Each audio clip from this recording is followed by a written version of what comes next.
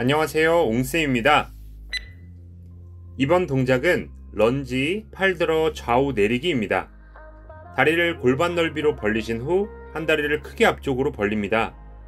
기본 런지 자세에서 한 팔을 위로 쭉 뻗고 등을 수축하면 등을 이렇게 쭉 수축하면서 모아줍니다. 팔을 최대한 뒤쪽으로 견갑골을 모아주시면 자극이 잘 오게 됩니다 하체와 상체 올인원 운동이에요. 두 번째 동작으로는 주춤 서 몸통 지르기 태권도 동작입니다. 주춤 서기 자세에서 한 팔을 몸통 찌르기 하시면 됩니다. 한 팔씩 정확하게 본인의 이민의 타, 임미의 타점을 치는 느낌으로 가시면 좋습니다. 타점은 최대한 한 곳으로만 해주세요. 2세트부터는 횟수 카운팅 하겠습니다.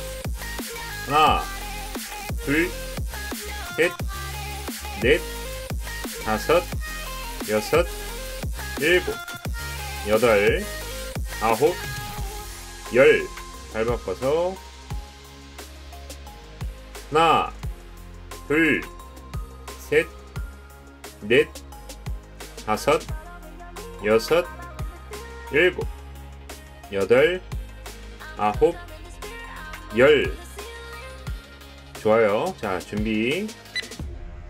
하나, 둘, 셋, 넷, 다섯, 여섯, 일곱, 여덟, 아홉, 열. 하나, 둘, 셋, 넷, 다섯, 여섯, 일곱, 여덟, 아홉, 열.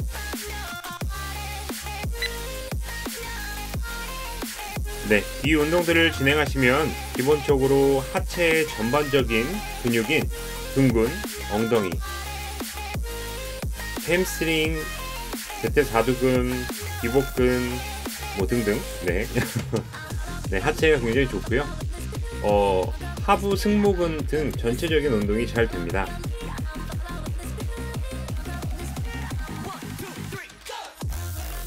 최대한 쭉쭉 등 수축을 해서 네, 견갑골 모아주세요.